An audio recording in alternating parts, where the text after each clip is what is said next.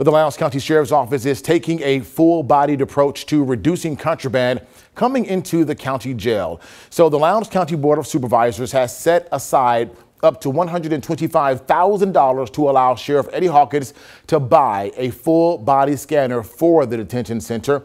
Now, the scanner is similar to those used by the TSA to screen passengers at airports.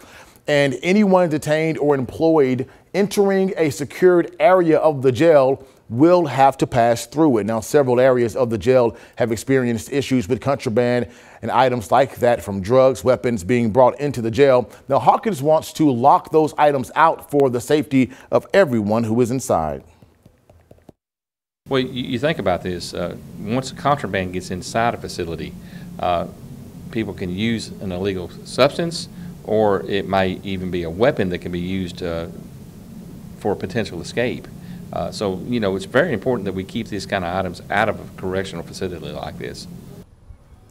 And just last week, a supervisor at the Winston County Correctional Facility was charged with providing contraband to an inmate. And back in spring, in the spring, a Lowndes County correctional officer was arrested on similar charges.